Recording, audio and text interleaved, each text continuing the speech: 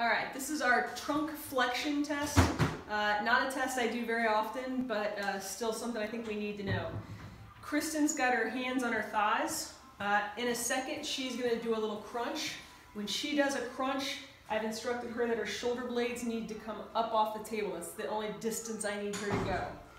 We are gonna be down here by her feet, and I'm gonna have my hands underneath her heels.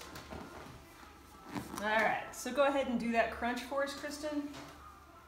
Good, and back down. Now, super subtle, which is why my hands were here, but as Kristen does her crunch, her heels come off the table. She should be able to move her trunk without her legs moving, okay? So instead, she's using some of the iliopsoas to pull her trunk muscles up, and what we're getting is her trunk's coming up, but her feet are coming off the table as well.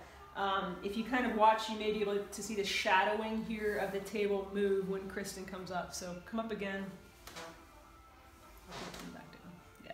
So I would call that a positive test. This was our uh, trunk flexion test.